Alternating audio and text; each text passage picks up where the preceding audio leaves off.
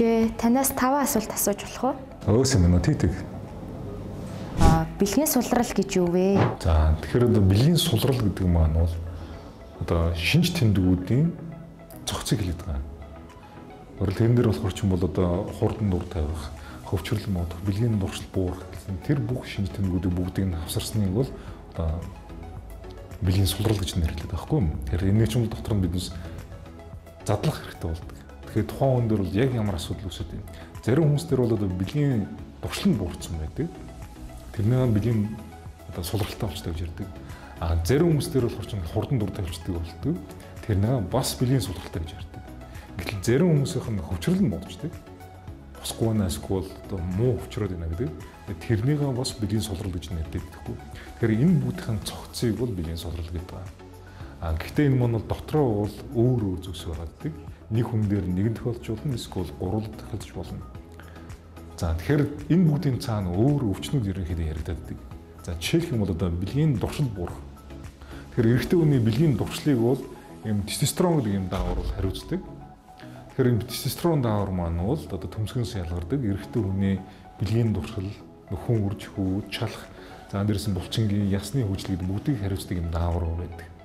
Тэгэхээр тэр даавар маань бол ерөөд бол багасцсан, мэдрэг бус үүссэн юм бол тестостероны дутагдал үүсээд тэрний илрэлд нь бэлгийн дуршил буураад идэг. А хэрв нөгөө дөрөнд хөвчрлийн хямрал үүслэе гэж үзье. Гэтэл хөвчрөлийн хямрал гэдэг маань юу вэ гэвэл бэлэг эрт дотор хангалттай цус орохгүй байна гэсэн үг. Ямар үед хангалттай цус орохгүй байх вэ? Нөгөө судас маань одоо шодооны судас маань одоо бүрлэрч гисэн. Жишээлх юм бол одоо тамхи татсаар бод судасны одоо хатуурл үүсгээд судасны үргэлжлэл үүсгээд тэгээ тийшээ цус орохгүй гэдэг. За дээрэс нь одоо ингээд цусны өтгөрөлтэй байх юм тийм одоо сүүлийн үед баахан корона вакцины вакцинаас болоод цус өдөрж байгаа хүмүүс их байгаад байгаа. Тэгэд өтөрцөн цус болохоор ч нөгөө нэрсэн судсаар бас гүүж орж ирэхгүй нөгөө бэлгэрт маань хөвчөрч чадахгүй болоод байдаг. А эсвэл нөгөө хурдан дур тавиадах юм бол нөгөө маань одоо мэдрэлийн асуудал гэж болно. Одоо нуруу нуусны гэмтэл үеж болно. За эсвэл бага арсны мэдрэлийн асуудал үеж болно. Төрөө уулзахаа урвслын үед ерөөдөө хурдан дур тавих асуудал их гарч ирдэг. За дээрэс нь нөгөө тарих толгооны мэдрэлийн асуудал бас нөлөөлөд идэг. Тэгэхээр тэр болгоныг тусад нь шинжилээд тухайн хүн дээр илрүүлдэг байгаа. За ямар шалтгааны улмаас энэ хүн эдгээр шинж тэмдгүүд илэрсэн бэ гэдгийг илрүүлээд эмчилдэг байгаа. Бэлгийн сулралын шалтгаан. За тэгэхээр одоо жишээлх юм бол одоо тестостерон дааврын дутагдлын улмаас одоо бэлгийн дуршил нь буурсан байлаа гэж үзье. Тэгэх юм бол нөгөө өдрөө болгон бэлгийн хэрэгцээнд орж исэн маань бол 7 хоногор сараар бэлгийн хэрэгцээнд орох болчдөг. Тэгээд ерөнхийдөө бол тэрүүгээр бол мэдж болох юм шүү дээ. За энэ хүн бол тестостерон дааврын дутагдaltaй байна гэдэг. За энэ урагшаа ирэхэд бол энэ оюун толгой, таван толгой дээр ажил хийж байгаа манай залуучууд төр их гарч ирдэг хгүй. Шөнийн ээлжинд явсаар байгаад тестостерон давж номчдаг. Тэгээд гэртээ ирдэг бэлгийн ажил хийх ямар ч сонирхол байхгүй болсон ихнэр нэг айхаад идэг. Тиймэрхүү маягаар илэрж идэг. За эсвэл нөгөө таргалтын улмаас тестостерон давар гэсэн унаад идэг. Чихрийн шижингийн үед бас унаад идэг. Ерөөд бол чихрийн шижин болон тестостерон даврын дутагдал хоёр хоорондоо аюул холбоотой. Чихрийн шижинтэй хүмүүс дээр ерөөдөө бол бэлгийн дуршил буурахаас гадна бэлгэртний хөвчрөл бас муудаад байдаг. Яагаад вэ гэхээр бол чихрийн шижингийн улмаас захын мэдрэл судсууд бүгд гимтээд байдаг. Гэтэл нөгөө шодооны чин судсал өөр айгүй эмзэг айгүй амархан гимтдэг. Тэр чихрийн шижингийн үед бас тэнд гимтэл явагдчихдаг. Тэр нөгөө дээр чинь биднес тодорхой хэмжээгээр чихрийн шижинтэй холбоотой эмчилгээ хийж одоо бэлгийн тэр хөвчрөлийн сайжруулах бэлгийн чалхын юмнаас сайжруулах болцоотой болж ирнэ. Тийм учраас ирэхэд бол энэ хүмүүс төр бол заавчгүй инсулин даавар үдчих хэвээр болж ирдэг байгаа маа. Тэгэхээр инсулин даврыг биднес баг дээр нь үзэх юм бол нэг чихрийн шижинтэй болохоос нь өмнө биднес ингэ илрүүлээд асуудлыг нь бас шийдэж болоод тийм. За дээрэс нь нөгөө нойрны асуудал их хэсэг нөлөөлдөг.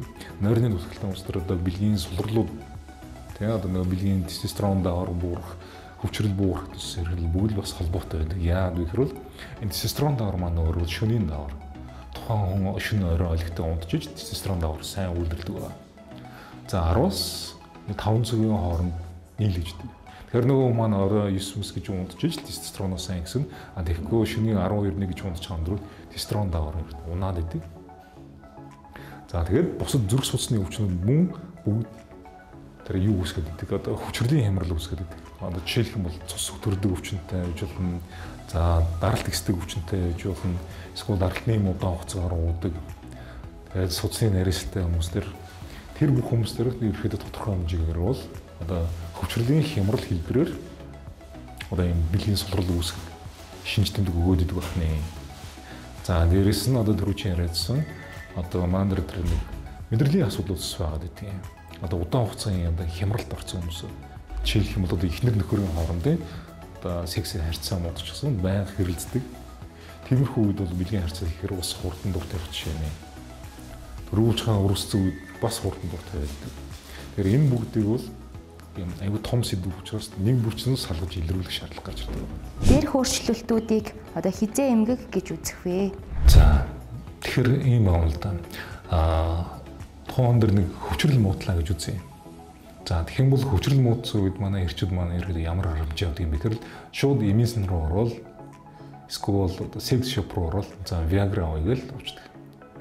А гэтэл ерөөхдөө бол тэр хөвчрөл муудна гэдэг чинь бол анагаахын үднээсээ бол бага арцганд өгч байгаа бүслэхээс доош шигдээс гэж нэрлэдэг. Шигдээс маань ерөөл аюу олон төрөл олон хэрэгтэн дээр явж байна.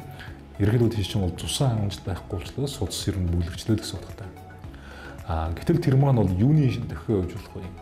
Нөгөө хүн төр чинь зөвхний шигдээс үүсгэх гэдэг юм гэсэн төхөө. Эсвэл одоо тархинаа цус харах гэж болно. Юм бол нөгөө төр шодооны чинь судас илүү мэдрэг судас учраас бүр эрт мэдэгдээд идэх байхгүй юу? За энэ хүний бол зүрх судасны асуудал үүчлээ шүү.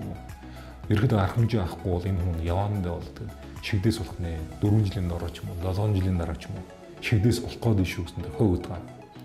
Ерхэд бол тэрний учрыг ойлгоод тэгээд тухайн үед нэг ингэ имжлэх юм бол одоо тухайн зүрхний шигдээс болох нас барахаас бол хамгаалах болцоотой. Тэр ерхэд тэр дуун мэдэн ерхэд бол бэлгийн сулруулыг ерхэд имжилж болдгоо маа хэрвээ хөвчрөл муудсан байх юм бол ялангуяа тамхины харьцан дэрэг уус ингээ анхаарах юм дээ. Тамхи татах юм бол хөвчрлийн хямрал үүснэ. Тэгээд зүрхний шидэс бол нас орно гэж байдаг. Нэг зүйл байгаа гэдэг. Эмчт үзүүлээд ерөөхдөө бол тэнд ямар асуудал үүснээ тогтоогоод тодорхой хэмжээний эмчилгээ хийх юм бол дараачийн хүндрэлүүдээс сэргийлэх болцоо та. Тэгээд бие махбод маань бол уг нь бол тэнд болох байлаа гэд бие хотор биднес тийм илэрхийлээд хилээд байдаг. А тэднээсээ хамгаалаад бид ингэ сонсохгүй гэж болохгүй сонсоод энэ бие махбод биднээс юу хэлэх юм байгааг ойлгох хэрэгтэй. Тэгээд их юм бол дараагийн хүндрэлүүдээс сэргийлэх болцоотой юм аа. Бэлгийн сулралын үед ямар ямар эмчилгээ хийдэг вэ? Урьдчилан сэргийлэх боломжтой юу? Тэгэхээр одоо ерөнхийдөө манай энэ залуучууд дээр хөвчрлийн хямрал үүсэхгүй байхын тулд нэгдүгээр яах хэрэгтэй гэхээр цусаа шингэн байлгаж явах хэрэгтэй юм байна. Байн усаа ууж, омега 3 ууж, цус өтгөрөлдөг кофе хэтрүүлжлэхгүй, тамхи татчихуулахгүй, зүр судасаа эрүүл байлгах юм бол хөвчрлийн хямрал орохгүй жилнэ. Өөрөөр нь хөвчрлийг муудахгүй гэж болдог. Тэгээд энэ хөвчрлийг сайжруулах хамгийн сайн аргуудын нэг бол биеийн тамир гэж үздэг. Өглөө босоод 3-4 км сайхан алхачдаг, боломжтой бол гүйждэг, хагасаа бүтсээ өдөр нь богд руу алхачдаг. Өөрөөр хөдөлгөөн тогтмол хийгээд байгаа хүмүүс төр бол хөвчрлийн хямрал гайгүй байгаад идэв. За тэгээд байнга спортоор хичээлсэн, ялангуяа хүмүүний спортоор хичээлсэн хүмүүс бол одоо настай болсон ч гэсэн 60 70 80 хүрсэн ч гэсэн хөвчрлөний хിവэр байх болцоотой байдаг. Чалхаа хадгалаад идэг гэсэн үг. За дээрэс нь нөгөө бэлгийн дуршил буурхаас сэргэл бол сэргийх болцоотой болцоотой. Өөрөөр хэл энэ дааврын тэнцвэр алдагдсны нэг шинж тэмдэг байна. Тэгэхээр дааврын тэнцвэрийг алдагдуулахгүй байх хэрэгтэй. Тэгэхээр юуны улмаас одоо тэр тестостерон дааврын тэнцвэр алдагддаг юм бэ? Тестостерон даавар маань нэгдүгээр нойргуудлын үед маш хэмжээгээр унаад идэг. Тийм учраас оройжонгоо зургт үзэх компьютер тоглох утас үзэхгүйгээр эртгэн шиг унтаад эрт босчих юм бол дааврыг унгаахгүй болцоотой. Дээрээс нь тестостерон даавар маань өөрөө бол холестерин. Холестерин даавар юу холестерин үлдэхлийн үед тестостерон үүсгэх нь багасчаад байдаг. Тийм учраас холестериныг тодорхой хэмжээгээр байлгах ёстой. Өөрөөр хэлбэл хоньны сүүл, өвчүүний өөх гэдэж болно. Дээрээс нь урамлын гаралтай болон малын гаралтай өөх тосыг хослуулах хэрэгтэй. Дээрээс нь одоо омега 3 гэх юм загсны тоснуудыг тогтмол хэрэглээ явуулж байна. Тэгэх юм бол тестостерон дааврыг бол үүсгэх болцоотой. А гэтэл манайхан зарим эмэгтэйчүүд маань нөгөө махтай хоол идэх юм бол өөх тустай хоол идэх юм таргалчин гэдэг өөх тус хасчдаг. Гэл тэрнээсээ болоод иргэд бол даавар үүсэх түүхий байх болж байгаа. За тэгэхээр дээрэс нь тэр холестерин гэдэг даавар маань хувир юу холестерин маань хувираа даавар болохын тулд заавалжгүй фермент ашигладаг. тэр фермент маань уурга болон төмрөөс тогтдог. Өөрөөр хэлбэл төмрийн дутагдал, уургын дутагдал маань өөрөө буцаад дааврын дутагдалд үүсдэг. Тэр бол төмрийн дутагдалд орохгүй тулд аль нь хүндөр идэх биш. Илэн идэж байгаа сайн, мах идэж байгаа сайн гэдэг юм аа. За уургын дутагдалд орохгүй тулд өндөг идэх хэрэгтэй, бас л мах идэх хэрэгтэй болдог. Өөрөөр нэг хүний бид хэрэгцээтэй эрдэс витамин, даавар, уурга тэдгээрийнхээ бүгдэрийг л багасгахгүй байх юм бол хэрэг барахтай ус энэ дааврын дутагдал ус үүсдэггүй. За дээрэс нь тестостерон даавар ажиллахад хамгийн шаардлагатай зүйл маань бол D витамин байдаг. Өөрөөр D витамины дутагдал ерөөсөө орж болохгүй. D витамины дутагдал юм бол бүр баталгаатайгаар тестостерон даавар ажиллагааг болчдөг. Тэгэхээр өвлийн цагт биднес бол нарнаас D витамин авч чадахгүй. Тийм учраас байнга D витамин уугаад шинэлгээ өгөөд өндөр түвшинд байлгах хэрэгтэй.